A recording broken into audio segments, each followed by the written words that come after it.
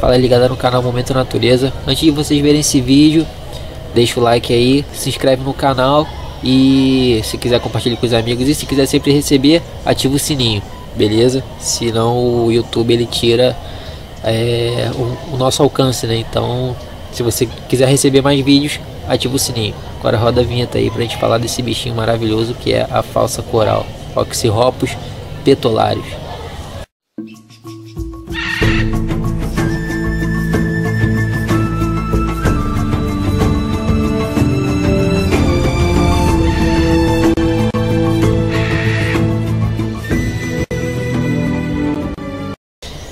Então galera, hoje a gente está aqui com a Oxyropus petolarius. Não se decidiram ainda se é petola ou petolarius. Eu vou colocar petolarius que foi a última informação que eu tive, né? É uma serpentezinha que é chamada de falsa coral. Essa daqui não tá com as cores de uma falsa coral, geralmente ela é preta e vermelha, que é um padrão de coral. Mas essa aqui é um bicho melânico. O que, que é isso? Tem excesso de pigmentação e acaba se tornando preto né? Ela não é preta, ela é até meio azulada. Tem essa barrinha toda branca aqui, linda demais, né?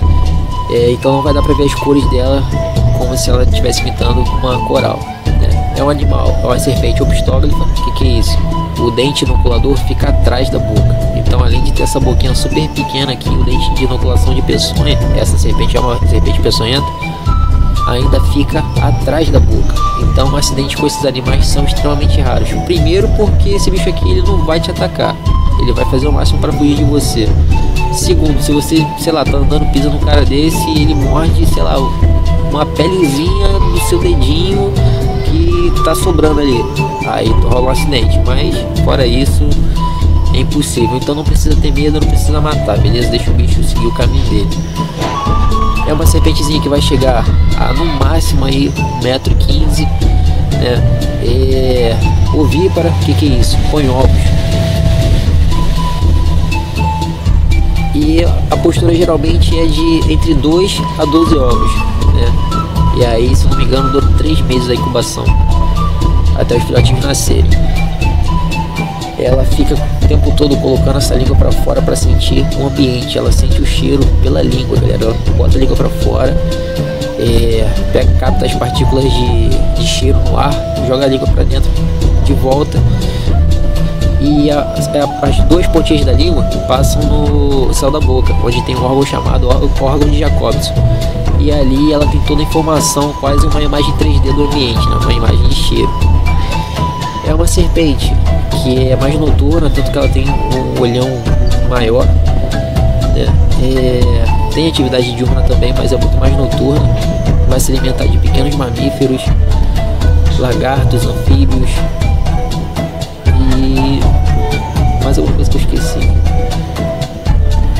Mas basicamente é isso, galera. É um animalzinho muito bonitinho, super tranquilo até. Essa aqui é a falsa coral apesar de não parecer. Como eu falei, é um animal melânico. E é linda demais. Agora vou fazer umas fotos e vou filmar a estrutura dela. Beleza? Que aqui atrás é uma reserva. Ela já foi. Pega aqui atrás mesmo. Aqui atrás da minha casa é uma reserva. Então se eu soltar ela para cima, ela vai seguir o caminho dela. Quase não tem movimento de gente nem nada. Então o bicho tá tranquilo. Né? Espero que venha me visitar depois. Beleza? Então daqui a pouquinho vai rolar a soltura dela aí. Valeu, galera. Bom, galera, se vocês tiverem uma serpente aparecer na casa de vocês e tudo mais, não precisa matar, tá? Não precisa chamar um bombeiro nem nada.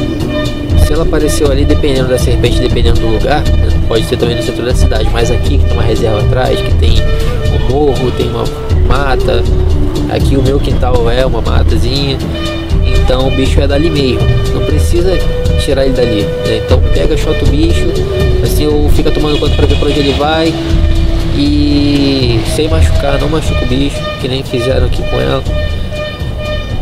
Então pega e solta, né? E é o que vai acontecer com essa garotinha aqui. Eu espero que volte e me visite. Vai ser um prazer.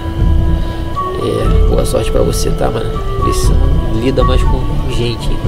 É, te pega pro pouco de floresta que tu tem. Aliás, uma das ameaças desse bicho aqui, ele não é, é ameaçado de extinção não. mas as populações vêm reduzindo por causa da fragmentação do seu ambiente e dessas mortes porque as pessoas têm medo. Né? Então aqui é um fragmento e vamos torcer para que ela não que ela fique nesse fragmento.